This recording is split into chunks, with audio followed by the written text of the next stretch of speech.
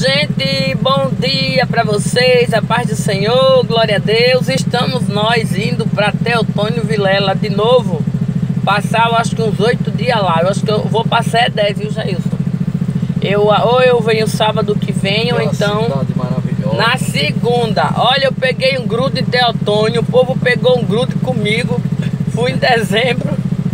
Saí de lá nas carreiras que a minha mãe estava doente em São Paulo e agora eu vou para passar uns dias, para Jesus, fazer a obra de Deus.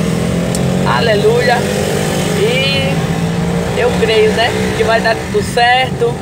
Eu fico muito feliz quando Deus prepara essas viagens, né, para louvar o nome dele.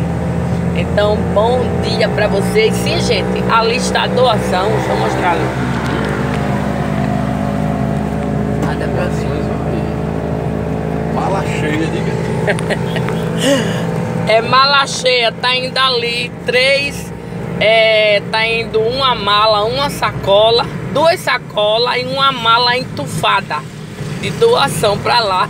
E eu até pensando se já isso não vai me levar dessa vez, porque eu nunca fui com tanta bagagem, né, Jailson?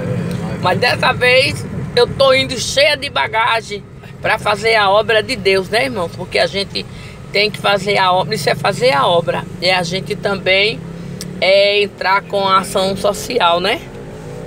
É com a ação social, fazendo a obra de Deus e ajudar os necessitados, né? Então vamos nós partir de Maceió para Teotônio. Chegar lá, eu faço outro vídeo. E ali vai a nossa doação para lá. Eu tô com tanta alegria, glória a Deus. É um prazer, como se fosse para mim. Um beijo para vocês.